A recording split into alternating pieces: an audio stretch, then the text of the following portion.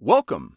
Today we're going to learn how to install your Brother MFCJ1215W on a USB connected computer. This video will cover multiple models and operating systems. Even though your machine may not match the model on the screen, the overall process will be the same. Download the full driver and software package from www.brother-usa.com. Navigate to your installer file and double-click to begin installation. When the device installation window opens, choose your language and click Next.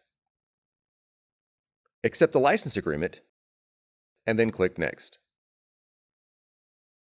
Select Local Connection and then click Next.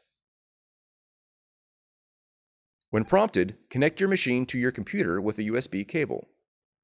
Cable lengths of over 6 feet are not recommended. Verify that your machine is powered on. Then click Next. Select Standard Installation and click Next. The iPrint and Scan application will automatically install. If you do not wish to install at this time, click Install Later. Click Next. Click on Brother Registration if you would like to register your machine at this time. You can also open the online user guides for your model. Once you are through, click Finish. Your installation is now complete.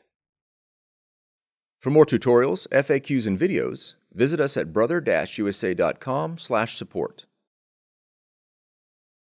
If you found this video helpful, be sure to subscribe. Thank you for choosing Brother.